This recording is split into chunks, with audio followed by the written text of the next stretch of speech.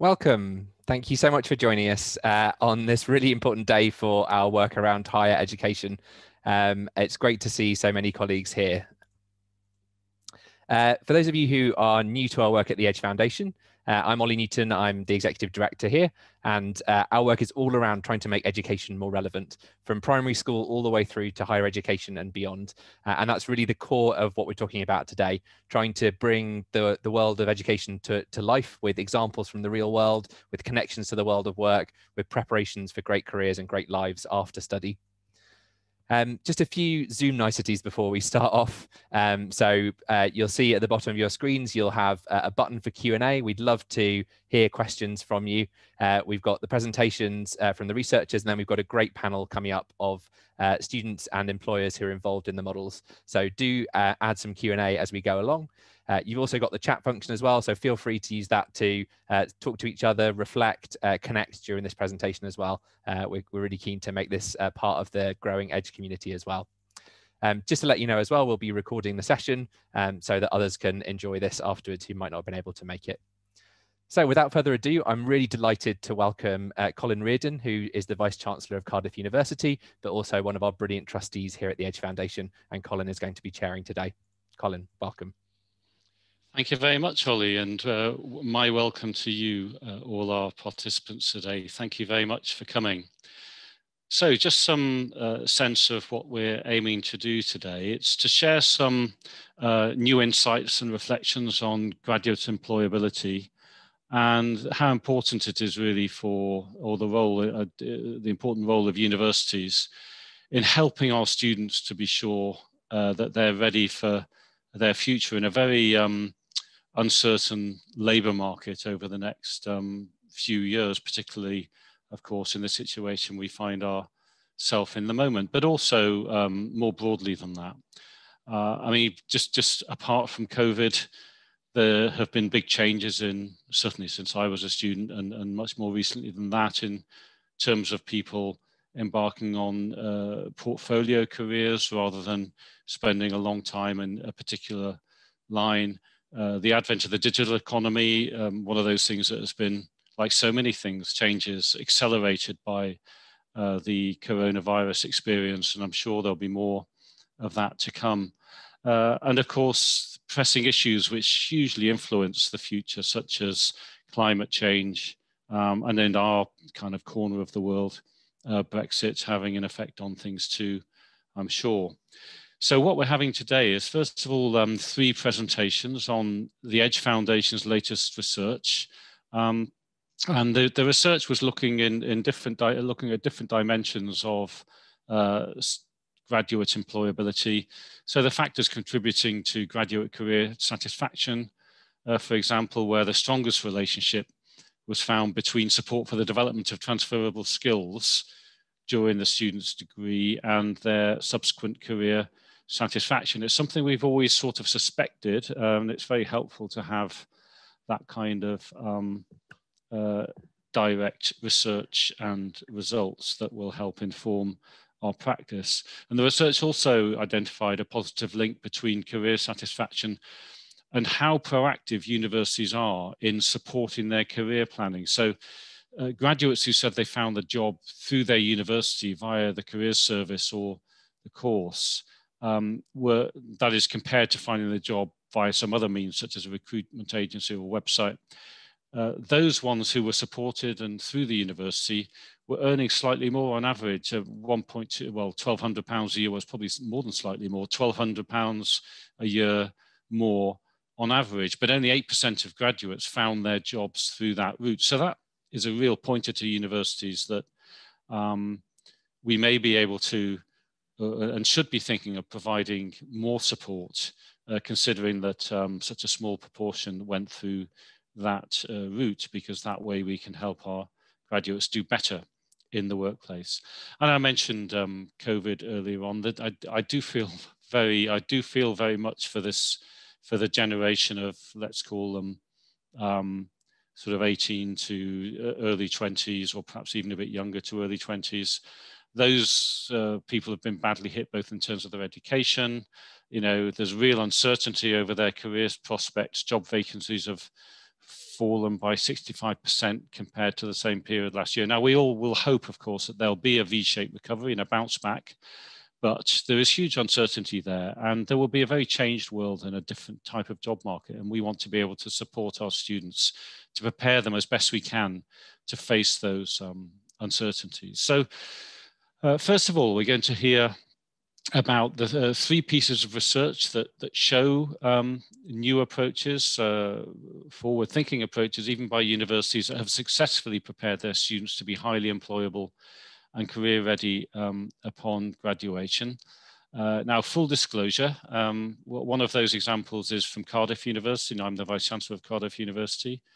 Uh, another of them is from the University of Essex, and before I was uh, Vice Chancellor here, I was Vice Chancellor there, and in fact was part of the, um, uh, really took part in the launch of the Edge Hotel School there that you'll be hearing about, and of course did the same with the National Software Academy that you'll be hearing about too. Now, after the research presentations, if you do want to ask questions of our um, researchers who, who are presenting the results, I'd be grateful if you could put those into the Q&A and, and they will be answered through the chat.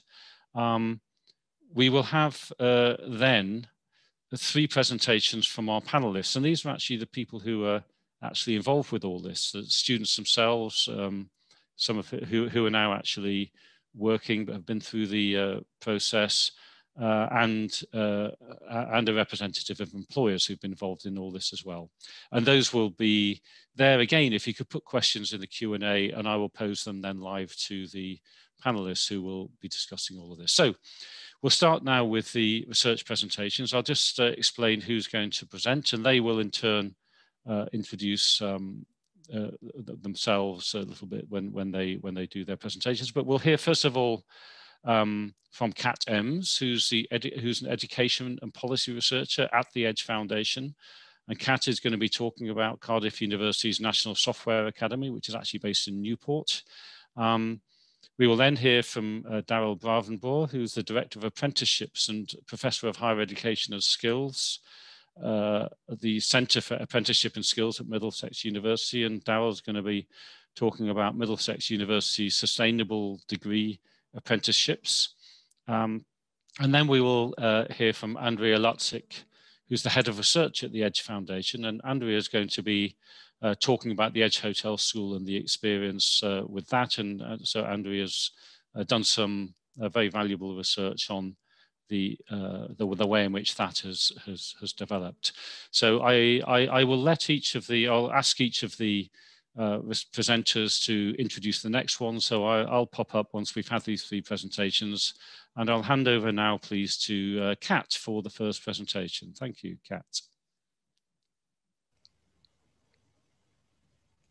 Thank you, Colin. Um, and I promise Colin didn't pay me to do this presentation. Um, this is all off our own backs at Edge Foundation. Um, thank you everyone for joining today. Really pleased to see many of you here. I'm going to be talking to you today about a piece of research that I did with uh, my colleague Andrea Laczik on the National Software Academy, which is part of Cardiff University. Um, and can we just move on to the next slide, Ollie? Thanks. Um, NSA is actually part of Cardiff University and was established in 2015, offering um, a BSc in Applied Software Engineering. They also offer master's course as well, but um, this piece of research actually focuses on the BSc. And we chose to do this piece of research as they were delivering um, an undergraduate course that appeared to be quite an alternative way to traditional higher education. So using things like project-based learning, lots of hands-on experience throughout the course, um, encouraging uh, students to take part in paid work placements that were relevant to the course itself. And we're really establishing really close partnerships with industry as well. Um, and so from even the early days, we were hearing that the students that were working with employers were um, having really positive experiences in the workplace and were hitting the ground running and were highly employable as well. So we wanted to investigate this model um, a bit more. Um, just to give you a bit of context um, to the National Software Academy. So as I said, it's part of Cardiff University, but it's actually based in Newport, which is 10 to 15 miles down the road. And that area itself um, has quite a skills gap, particularly um, in software engineers, as is the case nationally as well. Um, there's a high proportion of low qualified adults um, trained in software engineering. And um, previous to the National Software Academy being set up, um, graduates that were going into the workplace, uh, businesses were feeding back that they were taking about 12 to 18 months actually to be fully productive um, within the business. And businesses really wanted graduates that were ready to be productive and um, contribute to the business as soon as they get into the workplace. Um, also as well, it's an area of quite high deprivation and the government really wanted to try and stimulate the economy, uh, make it an attractive place for businesses and startups to join. So in 2013, the Welsh Government, they set up a task force uh, to try and improve the economy of Newport. And one of the recommendations from that was the establishment of the NSA, which was um, a partnership between uh, Cardiff University, between the Welsh Government and also employers as well.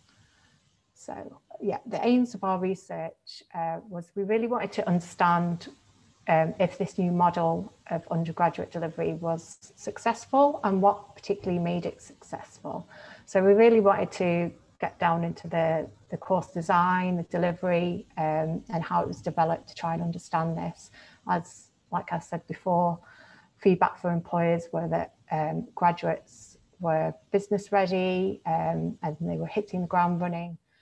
Um, and so we wanted to understand uh, what parts, factors in the NSA were really um, contributing to this work readiness. So next slide, please. To do this, um, we took a qualitative approach and we did quite a number of semi-structured interviews with um, teaching staff in the NSA, senior leadership um, and government representatives, and particularly those two were involved in the initial setup and design of the NSA as well. So that gave us some really valuable insight. And then we spoke to several employers as well who were um, involved in different capacities with the NSA. Um, some had taken on graduates or had hosted student placements as well. We also did eight focus groups with students, so from levels one to three.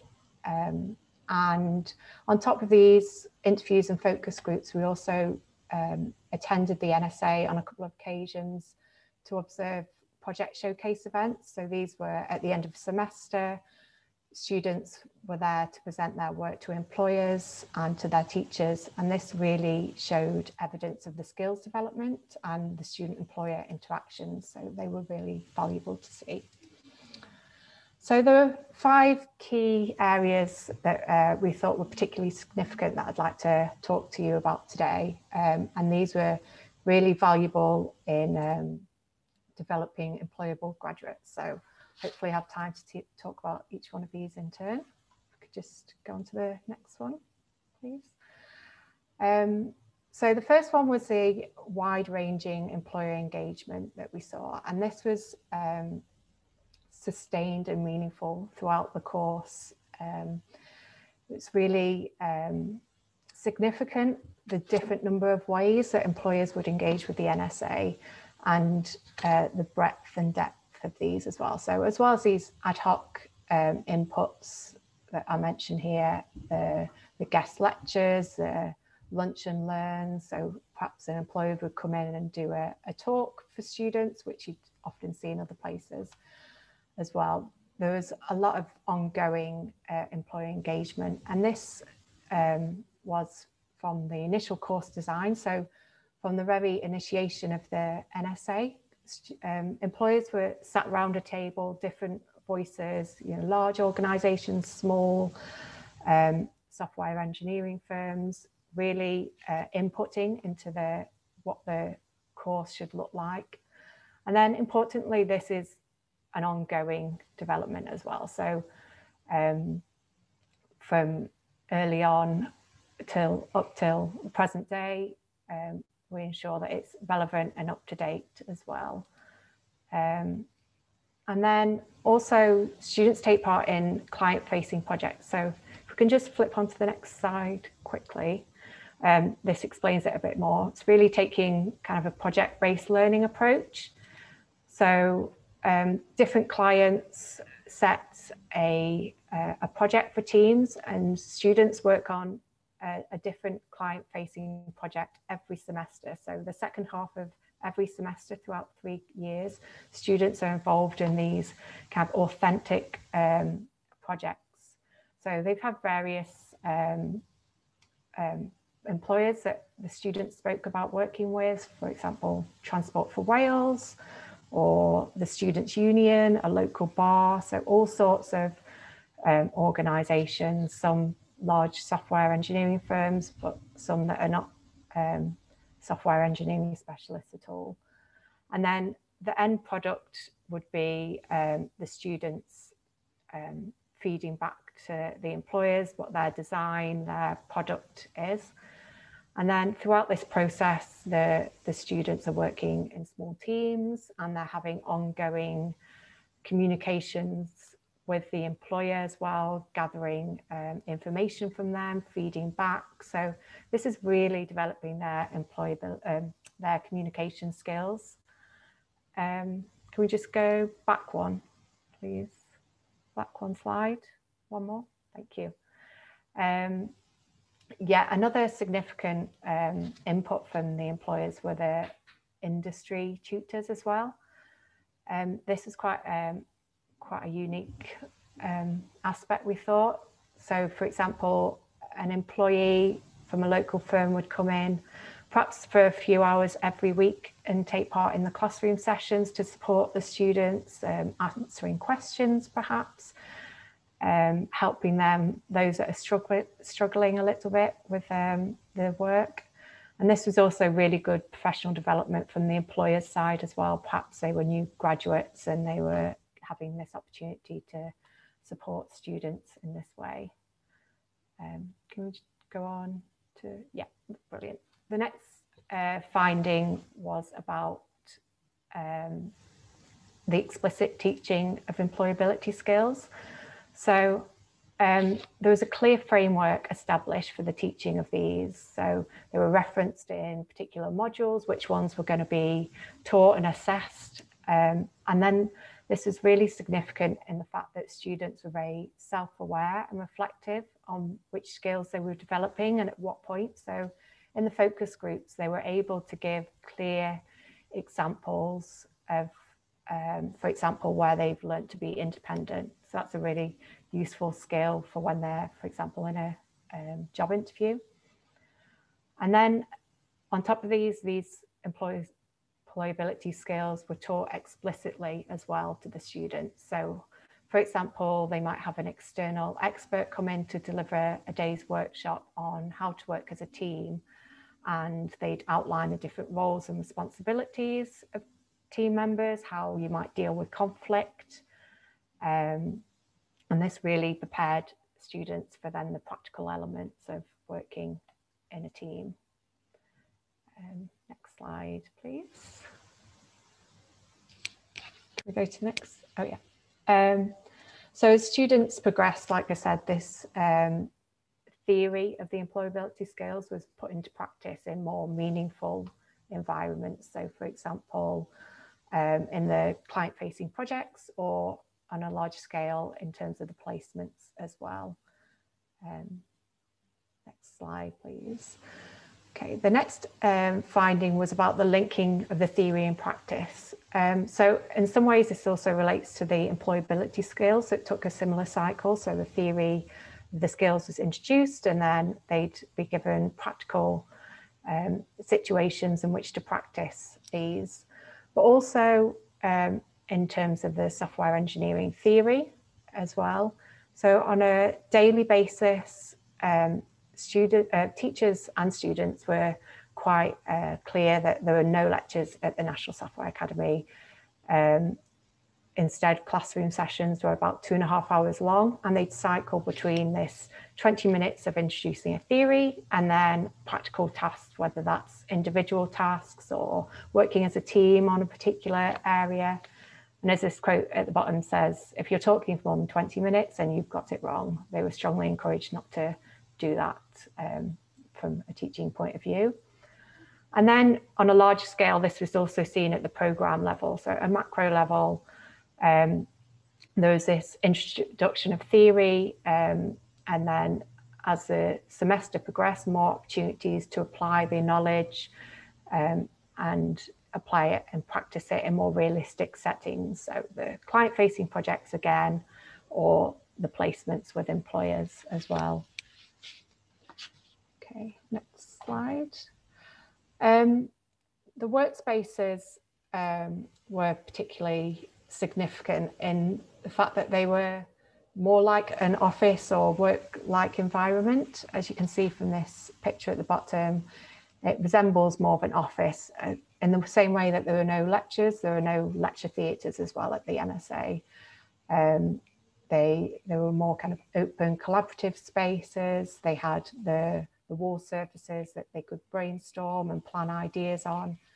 And likewise, the, the operations of the business as well were kind of taken into account and uh, used at the NSA. So some modules might have a, a five minute daily stand up at the beginning that some software engineering firms might use a similar technique um, and using the same technology that they'd find in the firm. Um, yeah, and just to say in the workspaces as well, those kind of the communal areas, the kitchen areas that were very um, very much shared and open, kind of like a professional environment. And then the final finding is the, the strong relationships, which as this diagram shows, kind of between the three key stakeholders were very significant and very strong. Um, so I'll just give you a couple of examples if we go on to the next slide. So between the staff, the NSA staff and employers, um, this was particularly strong. There was a lot of um, different employers that the, the staff worked with and the staff actually, a lot of them came from industrial backgrounds. So they could build on their previous experience and networks, but also the senior leadership team were very encouraging that um, NSA staff um, went to networking events, um, dropped in on employers and made sure that their, um, their knowledge were kept up to date and relevant in terms of industry standards. Um, so for example, as well, the staff might drop in on a student placement as well to try and um, nurture that relationship even more. And this really benefited the students because they'd be taking their knowledge back to the classroom and perhaps changing module content based on what they'd learned from um, their industry knowledge as well. Um, I just talk about the staff student relationships as well on the next slide. Um, I think this is really helpful because also of the work-like environment. It was a much less a hierarchical relationship between the students and the teachers. So compared to perhaps um, traditional higher education environment, I think the relationship was a lot more equal and the students were seen as professionals themselves. So students were even encouraged to bring their expertise back to the NSA following their industrial placement and um, lecturers considered their knowledge valuable, might even in turn change some of the content um, based on that. Um, and yeah, like I say, the, the kind of workspace and the shared open environment really helped um, nurture that. And then also in terms of the peer relationship as well, this was very strong. Um, the, the project work that the students took part in, if we just go back one slide, thank you, um, they, they would mention that they were a lot more sociable and they were able to uh, understand their peers strengths and weaknesses and help them with their their work or their project a lot more because of the all the elements of teamwork that took place at the NSA as well. Um, so yeah, if we just flick onto the next slide, there's a few quotes there that I'll let you read through yourself, but in summary, we really thought that these elements of the NSA delivery uh, were purposely built around um, student employability, which made them work so well. Um, each of the elements had a connection to employment or employers and the workplace. And so they're not all necessarily unique to the NSA. However, their combination and the intensity and the uh, of each of the elements were what really contributed to the outcomes and the successful uh, graduates and students in the workplace. Thank you. And then, um, yeah, thank you. Any uh, questions? I'm happy to answer them in the Q&A and also uh, I can share the report as well in the chat function. So thank you. And I'll hand over to Daryll now.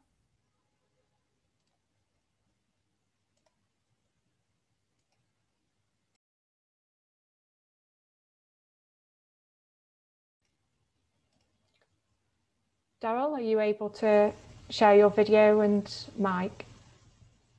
Great.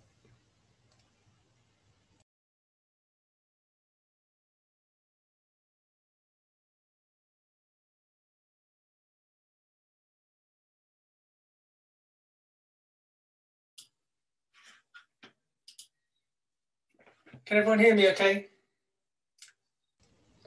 Yeah, we can hear you. Great. Okay. Um, hello, everybody. Yes, so I'm Daryll Bravenboer. I'm Director of Apprenticeships at uh, Middlesex University. Um, so I want to uh, talk to you a little bit about a Edge Foundation funded research project that we um, undertook um, recently. And it's, as you can see on the screen, it's to do with uh, sustainable degree apprenticeships. Okay. So um, as you can see by the, uh, the, the, badges on, on the bottom of the, the slide there, uh, this was a collaborative project uh, led by Middlesex, but working with a number of different, uh, two universities and also the University Vocational Awards Council as, as partners in the project.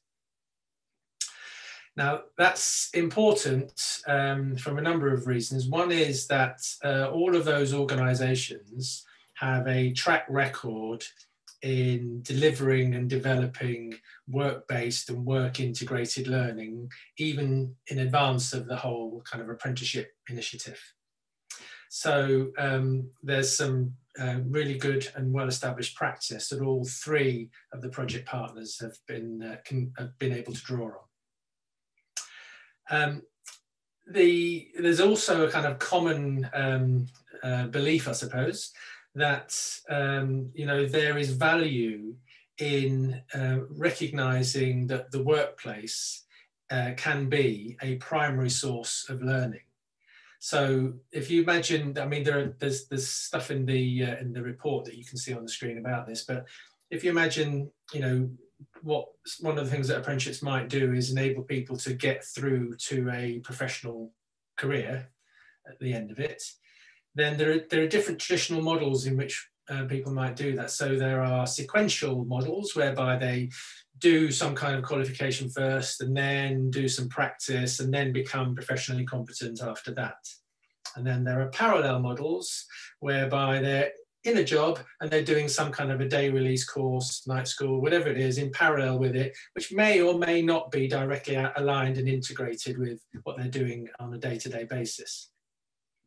And then there's a kind of integrated model, which is actually, you know, relating uh, both um, the, the, learning that's occurring in any context, whether it's in, you know, in a provider or university context, uh, or learning that's taking place uh, through work, and trying to maximize and integrate that learning so that it enables people to develop uh, into and, and, meet the kind of professional requirements that they, that they need to demonstrate and become competent. So all of the partners involved had that kind of track record and mindset of uh, that there was value in that kind of thing. And the, the apprenticeship agenda and the, particularly the degree apprenticeship agenda has provided opportunities to really kind of mainstream that kind of long-standing um, tradition and, and, and range of expertise that the partners have brought to bear. Okay.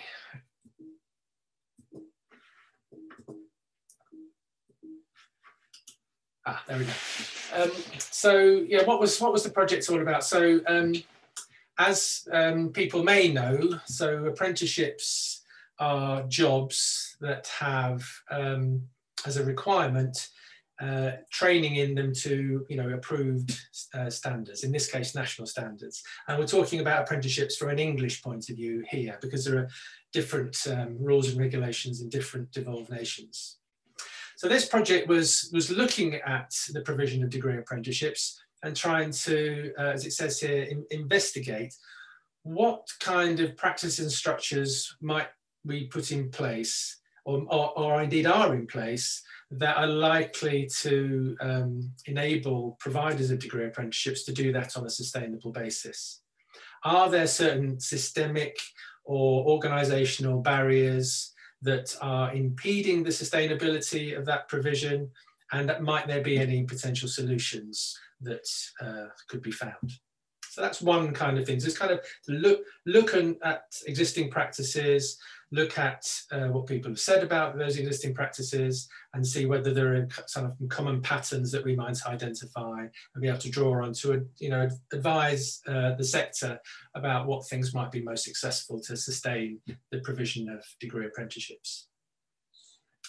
Secondly, we, you know, there, there are and there have been, and there, then there will, you know, probably continue to be some myths and, and misconceptions about the relationship between universities and apprenticeships and, and, and indeed degree apprenticeships.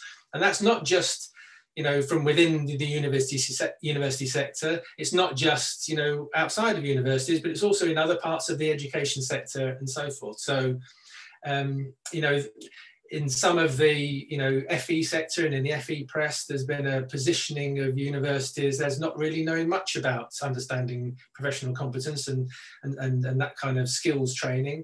Whereas, of course, you know, in universities, for example, if you take nursing, you know, have been actually developing professional competence uh, for a long, long time. So, so we, the part of it was to kind of explore some of those mis misconceptions from all sides and to try and weigh them against each other and to try and um, you know find a way through those things to to establish a kind of um, a, a, conception of degree apprenticeships that uh, you know was clearer for all the parties, all the stakeholders involved. And lastly, you know, this this wasn't this we we we we started off thinking that degree apprenticeships are a good idea. So we, you know, we were wanting to promote and support the development of a sustainable system for uh, the provision of degree apprenticeships. We weren't agnostic about that. We weren't thinking, oh, maybe they're not a good idea. So, you know, we came into it with a point of view thinking these things are a good idea, but there might be ways in which we can do them more effectively to make it more sustainable. And most importantly, might there be ways in which we can make clearer and establish better evidence of how they're contributing to productivity. And by productivity, we included in that kind of definition kind of um, service quality enhancement, for example, in the public sector. It's not just about making more widgets or whatever, it's about doing things better.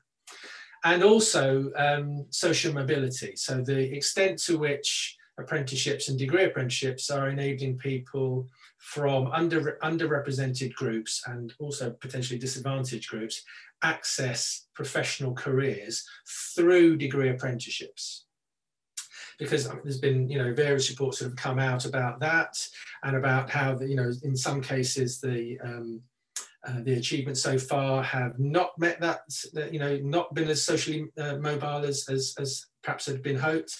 I mean, it's quite early and a lot of the public sector data in terms of the larger numbers hadn't kicked in when some of those reports have been published. But nonetheless we're thinking about how can that be positioned in such a way, such a way as to make it again clearer uh, to be able to demonstrate that that's that's being achieved across the sector Okay, so um, what what we did in the project, um, we we we agreed to um, produce three things really. One was a report, one was something called the uh, Centre for Degree Apprenticeships, and we also agreed to have various kind of dissemination events. So in in producing the report, obviously, you know what underpinned that was the the research that was undertaken.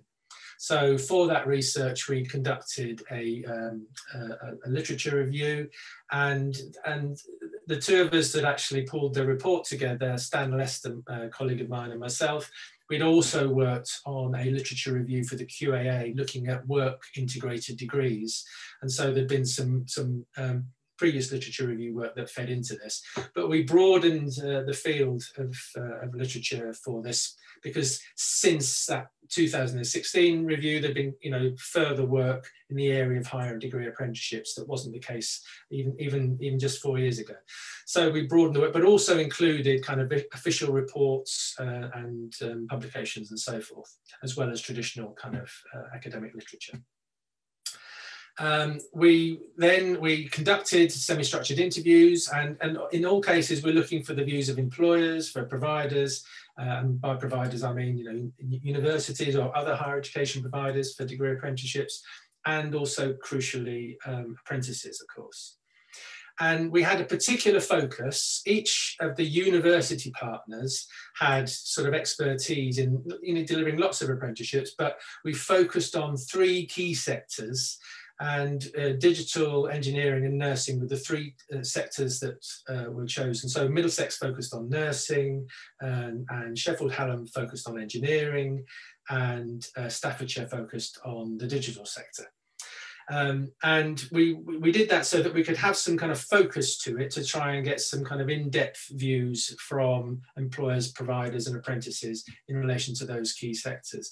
We we've explained in the report how we kind of selected those sectors because um, you know we've got a large public sector one we've got uh, that has a significant impact. We've got engineering which has a long tradition of offering apprenticeships and we've got digital which is fairly cross-cutting across sectors. So we thought that by having those kind of different uh, kinds of sectors involved we you know get a kind of a richer mix mix of, uh, of information from our um, from our research and then we also conducted a survey with employers and providers and apprentices. And this, for this, we kind of broadened the field a little bit. So they weren't only employers and providers and apprentices in the digital engineering or nursing, nursing sectors. It was uh, more broadly than that. And we, and we finished off with findings and so forth. So um, a little bit on the Centre for Degree Apprenticeships. Um, this um, has uh, been established now. It's, it's live, there, there's the link for it. It's for um, UVAC uh, members to, to access, of which there are kind of 90 odd uh, universities um, and HE providers across the country and it's really a kind of um, a, a, think tank. It's a method of sharing best practice in, in relation to the delivery of uh, and development of, of, degree apprenticeships. So, for example, you'll see in the dissemination events there's CDA knowledge net, network network event, so there have been um, two of those that are focused particularly on the police constable degree apprenticeship, for example, that have had different providers of, of that apprenticeship have come together, together to share their experiences and expertise. So there's a kind of an ongoing kind of um, research and research and development of best practice in, in those particular apprenticeship areas. And that's one of the outcomes from, from this particular project. There's another knowledge network event coming up for the academic professional apprenticeship in January, for example. So that's an ongoing sustainable outcome from, from the project. And as I mentioned, there were a number of dissemination events to kind of share, uh, you know, the, um, the outcomes from the project that are, that are listed there. Okay, so um, some of the key things that were that came about from the uh, from the literature review uh, as I mentioned, um, you know, the literature was telling us that the, although there's potential to improve social mobility that lots of people are talking about, there's actually, you know, that that's not being realised um, as much as it could be, um, partly because, you know, that there was kind of confused messages about degree apprenticeships. It was positioned as an alternative to going to university well, it's not an alternative, it's a different way of achieving the same aim. So some of those messages were, were and you know, there's the uh, not going to uni kind of, you know, uh, website, which again positions it as something different. Uh, rather than a different kind of uh, approach to it, and I think some of those that some of that messaging I don't think has helped to get a, a, a consistent message out to people who might benefit from um, undertaking a degree apprenticeship. And some of those people might be you know, um, people from who were undertaking lower level apprenticeships who hadn't realised that there might be progression opportunities from either further education or lower level apprenticeships through to degree apprenticeships. I mean, for example, you know, um, the level five um, nursing associate apprenticeship, you know, is is very, uh, is very rich and diverse in terms of the uh, range of people who undertake that. And it means that more people from a, a wider uh, range of backgrounds are going to access professional status as a registered nurse because uh, nursing associate is a, is a fantastic stepping stone to become a registered nurse and, and you can do that progressing through an apprenticeship route. So, and, and not, you know, those kind of things aren't in place in every single sector, and also people aren't aware of those routes in some places where they are available. Um, yes, there's been it's you know there's been um, some issues in terms of the Institute for Apprenticeships approach to the mandatory qualification rule, which determines whether or not you can have a qualification mandated within an apprenticeship uh, in England. And there's been some resistance, and there's there's a real growth in degree apprenticeships from 2015 when they first started, but it's really completely plateaued and, and has started to drop off. And that's because really it's become much harder for, you know, for trailblazer groups, even though they want to, to have a degree in an apprenticeship, to get one approved. Now that I'll come on to later, but that, that is significantly changing, by the way. But that has had an effect in terms of the range of degree apprenticeship standards that are available. There are lots of them, but there, there would have been a lot more had, had that policy not been implemented in that way. Uh, again, you know, there have been issues with, um, you know, getting standards approved. And, you know, there's, there's a recognised, you know, need for greater expertise of, of higher education and, and indeed professional standards when uh, um, degree apprenticeships are being developed. Uh, when it first, when the initiative first started, you know, the, the guidance would be don't elect providers of apprenticeships in the room, only the employers can be in the room. Now the guidance is very different, that for a degree apprenticeship, you kind of have to work with a number of universities in the development, and that's absolutely right. You know, the, the appropriate range of expertise, still employer-led, but the appropriate range of expertise in the room to drive the development is, is important. Uh, yeah, so this this one, the quality assurance, you know, the overlaps. Is it you know, is it Ofsted? Is it is it OFS and QAA and so forth? Who's got uh, you know um, quality assurance responsibilities for endpoint assessment? There have been various consultations, and there's been some confusion around that that you know haven't always helped in terms of clarity. Again, I'll come on to that with the recommendations a bit later. Um, similarly, there's, there's kind of a lot of contention about what apprentice, apprenticeships for you know, classically, are they, for example, as we as we would contend, you know, um, a vehicle for enhancing productivity and also providing opportunities for social mobility? Uh, or are they to try and fix the problem with um, people who haven't done very well at school? And that is a very different, you know, purpose. So, you know, the degree apprenticeships were launched and positioned, you know, in terms of enhancing productivity for sure and social mobility, you know, followed very closely on, on, on the heels in terms of a policy uh, objective. But latterly, a lot of the discussions in the press, for example, and a lot of stuff picked up in this review have been about uh, other people who think they should be prioritising lower level apprenticeships and younger people who haven't done so well at school, for example. So at policy level, that confusion can be a bit of a barrier. Okay, so just just briefly on, on, on these. So just to let you, so I mentioned earlier that um, you know we conducted interviews um, and that they were intended to provide a kind of in-depth qualitative um, um, information and data uh, regarding the perceptions of apprentices, employers, and providers. Uh, you can see here kind of the, the range the range of them. They were um, um, focused on those three sectors: digital, nursing, and engineering. And of course, the, the, the, there are more people who from uh, uh providers staff and i guess primarily because we're looking at sustainable models for the provision of, of, um, of degree apprenticeships. So provider staff are particularly relevant but also informed by the views of employers and apprentices.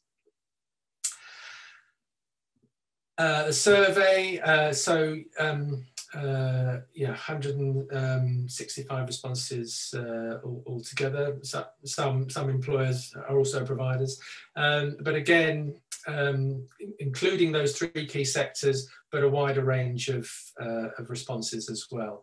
Um, both both the um, the interviews and the survey uh, looked specifically at perceptions surrounding social mobility and, and productivity, because you know we took it that these are the two main priorities for uh, degree apprenticeships because that's that's how they were that's how they were positioned. So we're looking to see how that played out in terms of the perceptions of employers, apprentices, and, and providers. Okay, so um, moving on then. So based upon the literature review, the responses um, from the interviews, and also the re responses from the surveys, Obviously, we've you know weighed and analysed those, and the detail can be found in the report. But they resulted in a number and range of, of recommendations, and some of these recommendations um, are feeding in to policy level changes now. Um, so there are developments in relation to degree apprenticeships that are taking place um, as we speak that have been to some extent um, influenced by some of the recommendations that have been made here. So um, promotion and outreach. So if, you, if you're going to have uh, degree apprenticeships um, promoted, don't promote it as an alternative to higher education because it isn't. Promote its distinct characteristics, yes, but as a high quality brand in and of itself, uh, as part of, if you like, a, a, fam a, family of routes and ways in which you can uh, people can engage with higher education and, and achieve, you know, professional status. Um, so yeah, so the, the, the, dynamics in terms of where we should, should we be focus, focusing the use of the apprenticeship levy, for example, for example. So, you know, the, the government's had an industrial strategy. It's identified key sectors that need to be enhanced to, you know, promote and improve productivity, leadership and management, digital, you know, for example. And that should, if there was coherence here, be steering choices in terms of where you prioritize uh, the use the use of levy um, see, seems self-evident, but it's not necessarily been played out uh, in practice. Um, yeah, so the, the idea that degree apprenticeships are, you know, an absolutely excellent route to, through to professional status for underrepresented groups, it has not been kind of um, highlighted consistently as, as, as, a message. And also for not least for you know underrepresented groups such as the existing workforce and indeed lower level apprentices. So those progression routes from lower level apprenticeships through to um, degree apprenticeships have not always been very well established or prioritised. And you could, for example, require trailblazer groups to identify progression routes from and to uh, apprenticeships when developing um, standards.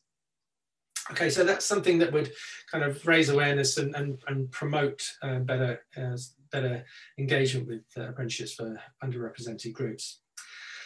Okay, so resourcing and partnerships. Um, uh, it was fairly consistently identified in the literature and elsewhere that having uh, for, for a provider to have a kind of central hub of expertise within a provider organization is one of the most effective ways to make sure that you've got consistent coordination of, of practice and the delivery of apprenticeships.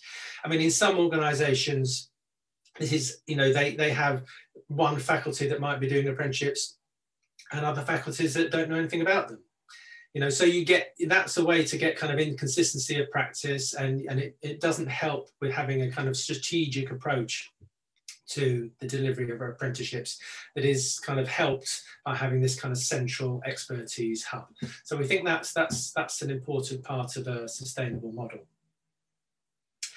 And there's a difference between having highly expert staff from a kind of subject specific, you know, academic research point of view, and ensuring that staff have appropriate industrial professional practice expertise. And also that they have sufficient expertise in understanding and delivering work integrated learning. because there is something about enabling learners to recognize learning potential in the context of their work that what integrated learning practitioners will understand, that some other practitioners in higher education won't understand. And in some cases, you have to deliberately support and develop that as an area of practice within a, within a provider organization. So that's another area that we think is makes it sustainable. Um, in, in, terms of uh, partnerships, you know, apprenticeships are all about partnerships. You, you, you have to have a systematic and sustainable uh, mechanism for um, maintaining excellent partnership relationships, you know, and to and to not as a you know sort of um, a more important partner and a less important partner model, but as part, a partner of equals. So you, one of the benefits of apprenticeships is that, of course, higher education institutions are not the sole gatekeepers in terms of admitting people onto degree apprenticeships. Employers have to recruit them and employ them. So there's, a, there's an opportunity to have really informed discussions about what is appropriate in terms of uh, you know, designing and developing uh, apprenticeships to meet the needs of employers. And that kind of early engagement with, with employers is pretty important well, is essential. Okay, so moving on. So program design and delivery. Um, the design of degree apprenticeship programs should not be as a kind of uh, a bolt-on. So you've got an existing degree and you're going to have an endpoint assessment at the end, but you're not going to do much to the degree to change it. You know, that's a bad model of delivering and, and developing a degree apprenticeship you know, actually developing it, as it says, from the ground up, thinking this is a degree apprenticeship. This is this is a, a form of higher education where, you know, the, as it's the workplace is, is going to be a primary source and, and resource for learning. So we need to design it on that basis to integrate on and off the job learning. And, you know, having a kind of digital first approach just, you know, immediately enhances the flexibility in terms of how things can be delivered. So not hardwiring in the fact that people have to go to a physical lecture hall to, to do things, that things can be delivered through digital means could be really, really helpful. And particularly in the light of COVID, you know, where uh, apprenticeships have had um, you know, mobile learning technologies built into them. It's meant that apprentices can continue on their apprenticeship learning journey, whereas other people are undertaking the, the same apprenticeship with a, with a different provider who haven't built in a mobile learning solution have, have had to stop. So it's, it's kind of really fundamental to kind of build that in from, from, from the start. Um, yeah, so, and there should be a kind of recognition that um, the, the kinds of learners that are undertaking degree apprenticeships may be more diverse, may come from different kinds of backgrounds. And so building in you know the development and support for the development of, of higher education study skills and other kinds of skills to enable them to you know engage with this higher education experience through degree apprenticeships is something that should be uh, generally built in and similarly that the way they're assessed should be kind of authentic and should reflect their working practices. You know it shouldn't it shouldn't always be that they've got to write an essay on something. You know it's not that essays are necessarily bad, but you know, what are people doing in the workplace, and can we use that as a vehicle for assessing people's competent competencies, uh, rather than thinking about you know just more more traditional approaches.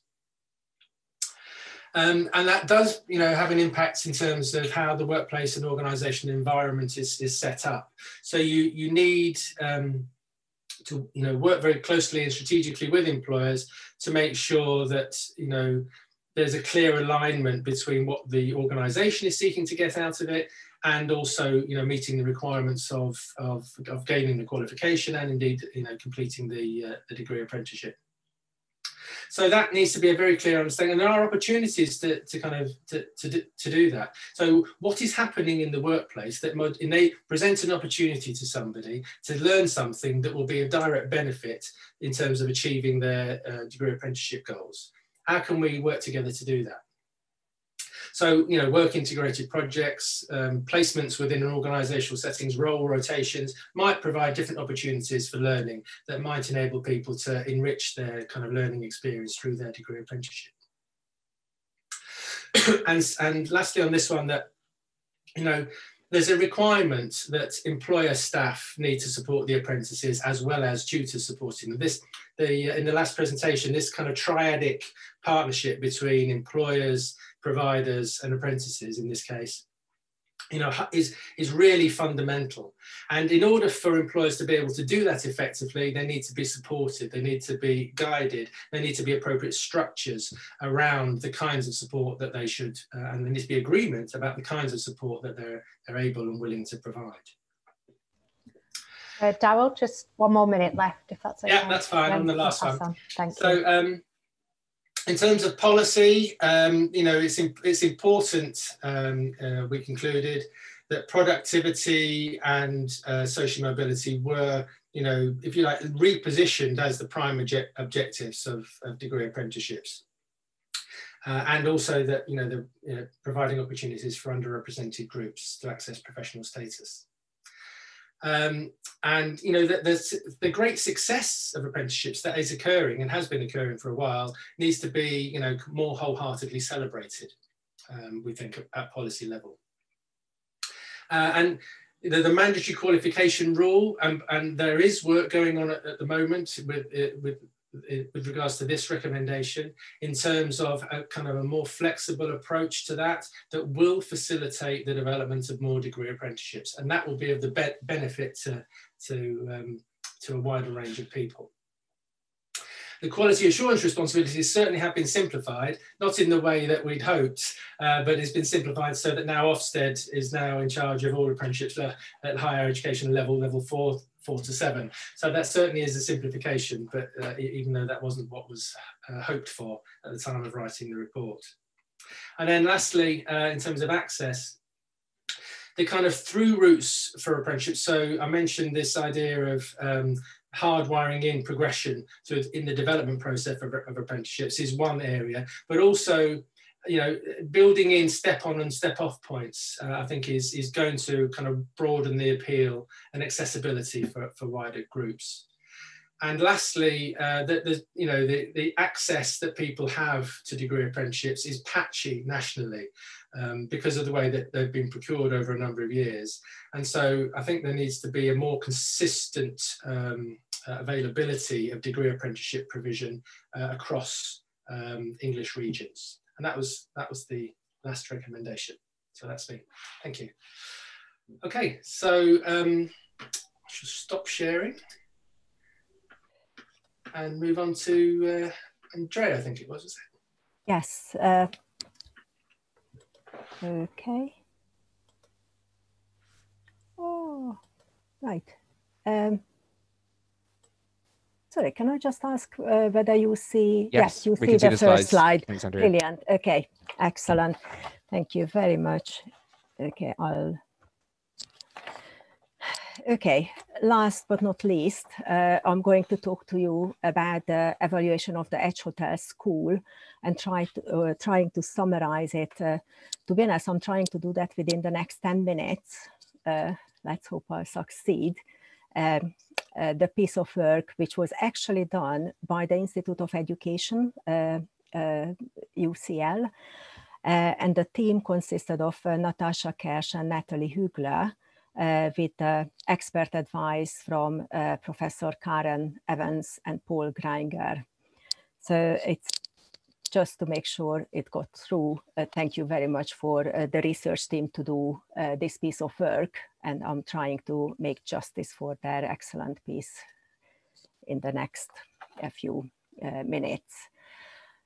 So uh, the Edge Foundation has commissioned uh, this evaluation of the Edge Hotel School, which is a practically based higher education uh, provision.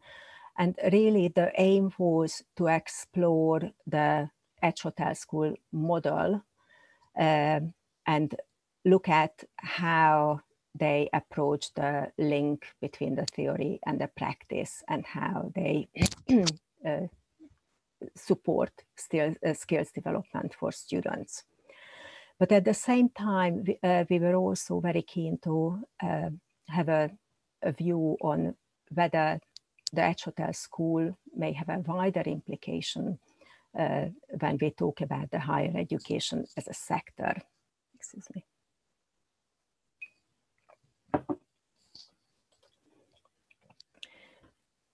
So um, the research team, excuse me if I sometimes say we, because I also do research, so I may just mix it up. The research team uh, has uh, taken a qualitative approach and they looked at the Edge Hotel School as a case study. Uh, they have done a number of uh, 27 uh, student interviews, also a small number with alumni. they have interviewed Edge Hotel School staff, senior academic staff from the University of Essex, um, and also two staff members uh, with management responsibility at Wivenhoe House Hotel. They also have done desktop research, document analysis, uh, and also uh, they, I think, uh, virtually attended uh, open day and an alumni network event because uh, they slipped into the uh, time of the pandemic towards the end.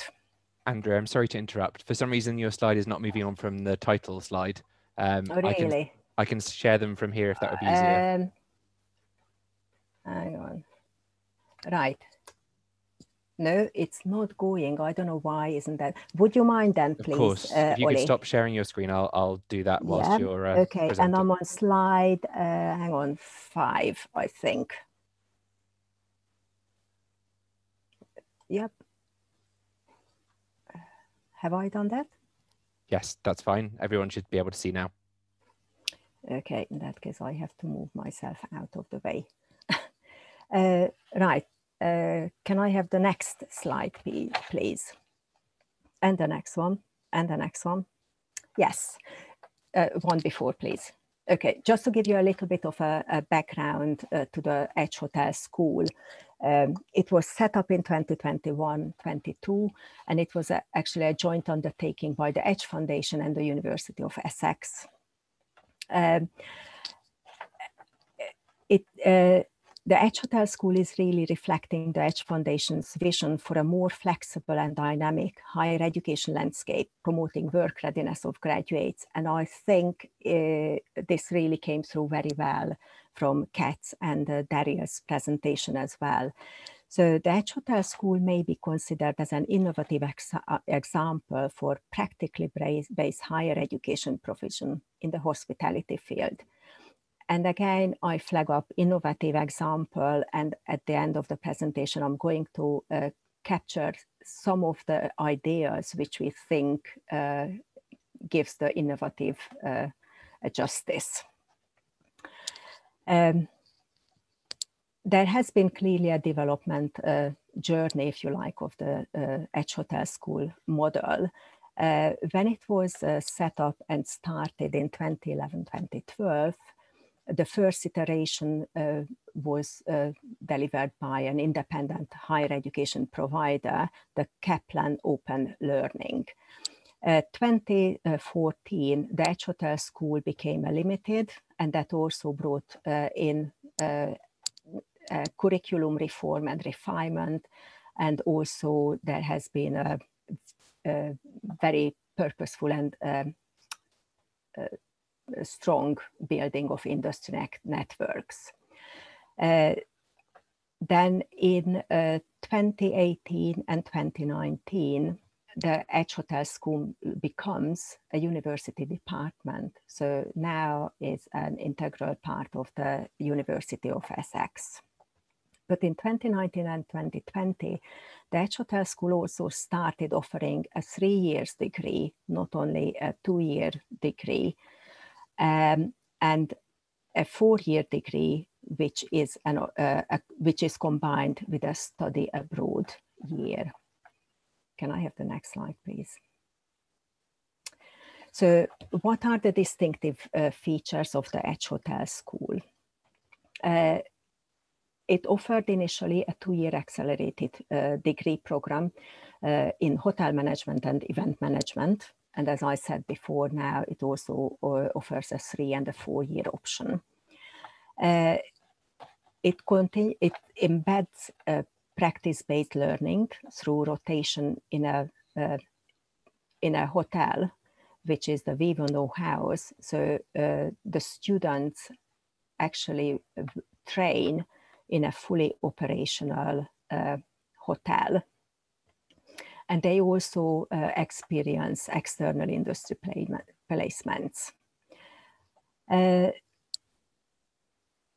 the, their graduates uh, really uh, are industry ready uh, by the time they complete the program and they develop strategic managerial and professional skills through direct experience of key operative roles at the hotel through rotations. But at the same time, they also uh, have a high quality academic experience. There is a very strong industry engagement uh, in the Edge Hotel School and the students experience uh, guest lectures, they uh, participate events and uh, events and conferences. They also uh, can gain industry scholarships and so on. Next one, please. So when we talk about uh, innovation, uh, what are we talking about really, and what is the evidence between um, Edge Hotel School or any other higher education provision which we may consider um, innovative behind? It is an integrated model of action-based research. It supports educational processes of boundary crossing, which allows students to apply skills reflect on practice, and integrate academic and work-based learning on an ongoing basis. And uh, students use this and uh, in different contexts. This embedded learning supports a sense of professionalism among students, which puts them in an advantageous position upon graduation. Uh, the Edge Hotel School creates a working culture and presents values of a distinctive hospitality organizations which aims to create high quality customer experiences. As I mentioned before, they actually uh, train in a fully operational four-star hotel. Due to the nature of the program, students develop a professional as well as an academic identity. There is also a high ethos of industry engagement, which runs through the whole of the program and is facilitated by a long-term commitment to industry relationships. Uh, the partnership between the Edge Foundation as an independent educational charity and the Edge Hotel School is in itself may be perceived as an innovation. Ollie, can we skip two of the slides? And the, and the next one. Excellent. Thank you. Um, I thought it will be interesting to look at some of the challenges because uh, I, th I think uh, through uh, my uh, overview, it gives you a, a, a bit of an, a, a, feeling and an insight that the Edge Hotel School uh, does develop uh, employable graduates and it's uh, quite successful in uh, what they are doing. But what are the challenges uh, of the Edge Hotel School and how this could be uh, turned into development opportunities? I mean, it's clearly, it's complex. Uh, all the various factors of innovation uh, brings that uh, with itself and also the diverse stakeholders, the networks and the relationships, which all matter and uh, take up a lot of uh, time to build and sustain. I also mentioned that uh, students train in a fully commercial hotel. Um, but that also means that uh, actually Edge Hotel School has two sets of customers and one is their students and the one uh, are the hotel customers, if you like. Uh, the hotel is working uh, with its students, uh, which are frequently changing and the student groups are uh, constantly uh, changing. So that again um, offers or provides another additional challenge how to deal with that.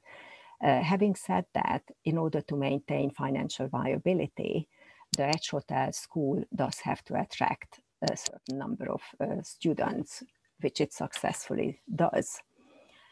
Um, and also the, uh, I mentioned before that the Edge Hotel School is now an integral uh, part of the University of Essex. It is, uh, operates as a department, if you like. And that organizational context, again, offers both challenges and opportunities. Can I have the last slide, please? So just very briefly, what are the wider implications uh, for uh, this practically based higher education? And I hope that what I'm uh, flagging up here will resonate with what Kat and uh, Dar Daryll was talking about before. Uh, it really uh, showcases the success of action-based learning approaches, which is informed by industry engagement. Uh, it also highly integrated nature of the model supports professional alongside academic skills and identities. Um, for a vocationally oriented disciplines, this model supports appreciation of crossovers in the interdisciplinaries and intersections of different operational and managerial roles. As we talked about uh, students rotating in a hotel, while at the same time maintaining a clear higher education focus. Um, and the program's journey highlights the importance of careful balancing, managing and involvement of key stakeholders as part of process of innovation. Uh, we should not underestimate the complexities involved in setting up, refining and sustaining a new and dynamic concept and also the role of relationship of organizations and people within them. The Edge Hotel School model provides valuable insight into such partnerships and how uh, and uh, such partnerships can be kept uh, synergetic and effective. And then probably as a final thought, uh, because I've been thinking a lot about uh, innovative higher education, alternative higher education, or non-traditional higher education, how can we actually uh, define these uh, thinking of Kat's National Software Academy and Daryll's apprenticeship project and the Edge Hotel School? Thank you. Well, thanks very much indeed, uh, Andrea, and to uh, Daryl and, and Kat for that really interesting set of contributions. There's actually been um, a very interesting and pertinent question in the Q&A, which I'll just briefly answer, and that's about um, cohort sizes at the NSA and the um, Edge Hotel School. I haven't got the up-to-date information, but certainly I can say that um, you can't do this in, on a mass basis. It does require relatively small cohorts, and uh, maybe somebody can put into the chat what the cohort latest cohort sizes are if they're known about but in my head we're talking numbers like 30 to 50 um, so it's not like a lecturer in marketing when you've got 500 people that, that sort of thing so let's move on to our uh, panelists um, I was going to ask each panel member to introduce themselves, but we are a bit short of time. We've only got about a quarter of an hour now, so I'll just briefly uh, introduce the panelists. And if I get anything wrong, please do um, correct me. Uh, so we have Emma Bagnell, uh, uh police constable, who did a BSc Honours in Professional Policing Practice at Middlesex University. So that's the degree apprenticeship route. And we have um, Lauren Johnson, who's a graduate of the Edge Hotel School and an employee now there at the Edge Hotel School, previously having worked for the Dorchester Collection. And they're on this sort of graduate side who've been through the system and we have Lidia Trojanowska, who's the Tech Talent Program Coordinator for Admiral Group PLC. Uh, Admiral, the um, very well-known uh, insurance company based in Cardiff, uh, uh, who are an industry partner of the National Software Academy. So thank you all very much. If you want to um, reveal yourselves now via your unmuting and switching on your video. Um, and I'm just going to start actually by asking each of you a question that, that came up uh, earlier from Sophie Chadwick, and um, that was about hitting the ground running. We heard that a few times, and of course, all of these programs are about learning by doing, and they're in, in many ways a, a response to employers saying, we want oven ready graduates or we want graduates who can hit the ground running. We don't have to spend a year, you know, training them up into our, into the roles that we want them for, which is a very common uh, sort of um, uh, issue. So it'd be very interesting to hear. I'll, I'll, maybe start with Lidia as to your perspective on that, and then then hear from the two graduates as to what their experience was, was it in practice. Did you find you were hitting the ground running? And first of all, Lidia, uh, uh, tell us about this hitting the ground running business. Thank you. Um, I think for us, um, the journey starts with the NSA because they've made the, the goal very clear. It's not just about teaching students, about making them employable. Um, and I think a second point is that um, the NSA are recruiting uh, or um, accepting students who are um, ambitious, they are inquisitive, they're, they're eager to learn. So those are all the qualities that we're looking for our talent pipelines anyway. when it comes to hitting the ground running, the projects that Kat referred to um, in her presentation um, are real world problems that we're having as companies um, and they add value. So the NSA support the students in helping them to understand how to um, uh, gather requirements, how to ask the right questions, and also learn from their mistakes. So if they haven't asked the right questions, that impacts their projects further down the line. Um, and having the constant contact with um, companies allows them to see um, what the working environment is like. So it's not making them just making them work ready. They're actually making them business ready by um, joining in the same agile ceremony. So we obviously we're I work in a IT part of Admiral. Um, and it's all about software development and getting that development um, out and released in a timely manner. So that's done in an agile um, by an agile framework and, and, the ceremonies we use are you know gathering requirements scrum planning um, sprint planning sorry you know sprint development but then also retrospective so we look at um, you know what went right in that two week development cycle um, what went right what didn't go right um, lessons learned and how we can adapt so the students are always incorporated in that um, in the student in the NSA, but they're also included when we take them on as um, uh, summer interns. And what we're finding, so I think it's the last four years we've had summer interns, um, we've offered them jobs, part-time jobs um, after the summer internships. Um, one individual um, was developing live code within six weeks. Um, of joining us, and he was a second year. Um, so they, have just got the right mindset, and I think that's being nurtured by the NSA. so I, I'll talk to anybody that wants to listen about our partnership with the NSA because for us it's been a fantastic pipeline for talent. Um, and in South Wales, everybody's desperate for great uh, for software engineers, and we happen to be get, getting great software engineers from the NSA.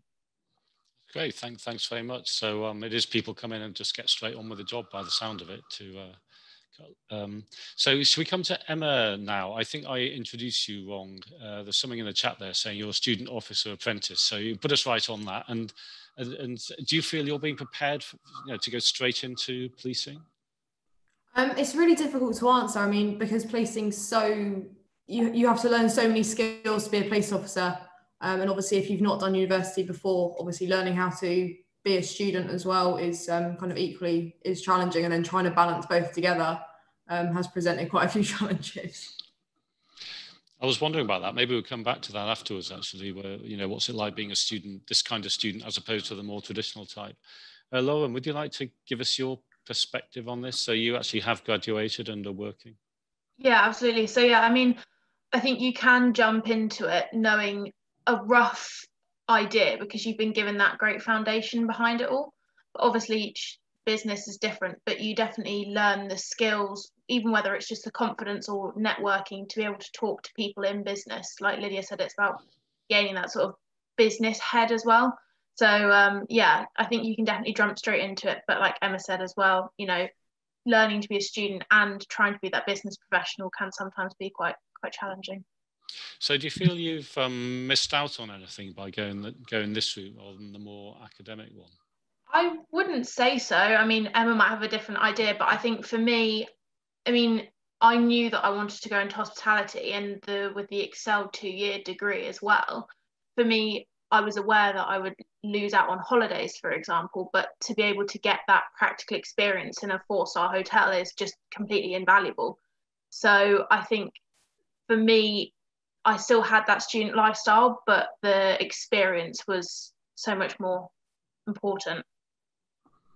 Thanks. Emma, how about you on that? Um, so for me, I did university before out of my own choice. Um, so I already had that background. I'd already kind of had that student experience. So I think I'm a bit of an exception to the rule here. Um, I mean, for me personally, I knew I wanted to join the police. I knew that was kind of my priority. Um, and the degree apprenticeship was just something that kind of came part and parcel with the job. Um, I think when you're signing up for something like this, you've really got to consider do you want that student experience or do you really want to work hard and kind of achieve and start your career? Thanks. And if people want to look at the chat, there's an answer to the question about the cohort sizes. So the hotel school's grown a lot now, now into the high 70s. Um, and I think it was, oh, oh about, uh, well, it's going up anyway. You can look on your own. Um, so uh, what would you think was the the most important things you've learned in terms of employability? And maybe we'd hear from Lidia about what the most, what are the things you you most value in terms of employability. Emma? Um, inquisitiveness. Um, Lidia, go ahead. Sorry, inquisitiveness. Um, being um, being open and um, taking ownership of their work, um, even if it's just a small piece of work that they've been um, given. Um, definitely working in in partnership and um, collaboratively working. Um, it's we don't want to see um, software engineers working in isolation. It's all about learning and developing um, each other. So um, it's it's all those small little things that you can't really put your finger on. It, it's it's like the complete package, um, and I'm not really sure what or how the NSA do it, but they're a different kind of caliber of student that comes through our door when we have summer interns. Um, we we've recruited from other universities too, um, but we we don't see the same caliber. Um, they they're just ready and eager, and um, I think because they've worked on a number of different projects with a number of different employers, by the time they get to us, sometimes in their first summer, um, sometimes in their second or third um, summer, um, they just seem to be um, ready to get on and do some work. It's almost like um, they're wanting to be trusted. And I think we are very fortunate, Admiral, that we do allow them to have that trust. Um, there is a support network around um, the interns, so it's not just they're embedded within teams. We're fortunate to have um, the tech talent team where we can support them. We're not on all the social aspect, but also just the pastoral care as well, where they're with us. Um, but I just there's something that the NSA do, and and and whatever they're doing, it's great. So I think the um, there was a point made in the presentation and in some of the other research as well that it's the it is the transferable skills, the sort of not just the subject knowledge and so on that people value, and that that seems to very much accord with what you say. And I think what's happening here is that we're trying to recreate the workplace as, as best we can, actually give real work experience to, to people as they study all the time, not as go off for three weeks and get some. Would that be what you're finding, Emma? Um, so in terms of the transferable skills, yeah, I can definitely agree with that. I mean, it, it, both policing and university, they do give each other their own transferable skills. I mean, personally, for me, I think kind of organization, um, managing deadlines, critical analysis, time management has been the biggest one for me, just really kind of making sure you've got enough time to do your assignments as well as work kind of 24 hours around the clock. Mm, sounds quite tough. Uh, I don't think I'd manage that very well. Um, Lauren, how about you? What, what are the important things that you think you learned by, by this learning by doing approach? Yeah, no, no, absolutely. I mean, I think the best thing for me was the networking. I mean, um, Edge Hotel School is so well known in the hospitality industry that the amount of people that want to work with them, you know, careers fairs, the amount of um, businesses that were there. I mean, my first careers fair I worked at um, for Edge and then ended up meeting the Dorchester collection there. And then last year, then came back to Edge representing the company. And then I'm now working Edge. So, you know, it's this full cycle where you gain the confidence that perhaps you wouldn't have had before. Um, and again, it's the same, you know, you can't ever learn about a guest complaint from a textbook. So having the time to learn it in real life, which is very daunting sometimes, but, you know, having that experience is completely invaluable. Okay, we've, we've got we got just just five minutes now. I'd be interested to hear any, so, well, uh, from Emma and Lauren. You know, what what do you remember? You know, what's the thing that really stands out from well, you haven't quite, you haven't really finished with it yet, Emma, have you? But you know, whatever has happened up to now. So, uh, you know, what, what really stands out? What's your favorite memory? Lauren, do you want to have a go at that? One? Yeah, no, that's fine. Um, so, I mean, memories of definitely be, I mean, starting your first shift, obviously, when you go in is very daunting, but, you know, going through the ranks. So, we have different levels as you progress through, so your different years. Um, and I think that when you then go in as the second year and sort of seeing how the first years are coming in quite nervous, but being able to impart your wisdom or for yeah, better term on them. And then when you get to your final year, seeing where you, you know, where you've progressed from where you've come from and being able to go into industry with that that confidence. I think each shift is different because people are, you know, everyone is different. They've got their own characteristics and things, and obviously guests different, dealing, you know, complaints and handling those various issues. But there's so much good to come from it as well. And I think being involved in, you know, a wedding or, you know, all those little experiences, those are the memorable things. I mean, that's a great thing about hospitality is being involved in in different people really. Thanks. Uh, Emma, Emma? Um, I mean, it's difficult to ask. It's, it's similar to um, what Lauren said about how kind of every day, every day is different. Um, always learning new things, different people, different challenges. Um, in terms of the university side, I think kind of getting those first assignment grades back, and obviously you've got good grades, um, and then you can reflect on how your performance at work um, may have linked in with those grades, and just being able to balance everything and just having that sense of achievement when you've done something well. Excellent. And Lidia, just, just a final one perhaps um, for you. Uh, this, this uh, the NSA is obviously a software engineering side. Do you think this could be, I mean, it could, it, presumably it can't be done for every type of degree, but in your line of, in, in your line of business, can you see this being done in other degree programs? I think if um, universities are open to um, adopting a different mindset and looking at alternatives, I can't see why it wouldn't work. Um, that yeah i mean if it, it's proven to work here it's proven to work for software engineering um, why not okay good well th thanks very much everybody we're just um, perhaps uh, a, a, a, couple of reflections um, that, that I've uh, taken away from today. Well, first of all, you can read all the research that um, was presented today. There are, there are links in the chat, and if you're uh, confused about any of it or, or, or, have any questions, do get in touch with Edge. I know they'd love to um, hear from you about that. And to keep in touch with Edge, you can subscribe to their uh, newsletter on the Edge website and also follow them on Twitter. And their um, details are, are, in the chat.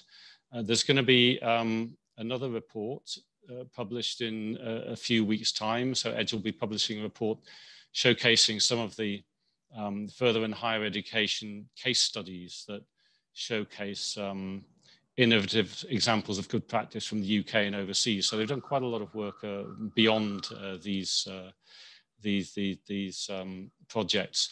But I'd just like to say from a personal point of view, um, because I've been a trustee of the Edge Foundation for a number of years and um, in fact, uh, originally was involved in the Edge Hotel School and I'm still, of course, with the NSA in Cardiff. It's, it's hugely rewarding to see this. I mean, universities are clearly there to create and disseminate knowledge for the benefit of all, but they are much more than that. Uh, they're much more vocational, I think, than people often think. You know, the engineering side, law, you know, a lot of the science sides. In fact, a lot of the um, the other sides do. I think it's a model that we could adapt and take forward in in many ways, just, just as Lidia said, if we're open to it. And it's fantastic to see a couple of people here who've, um, who've been through these types of programs and clearly benefiting from it. And your sort of enthusiasm and commitment really shines through. So thank you both um, very much for that.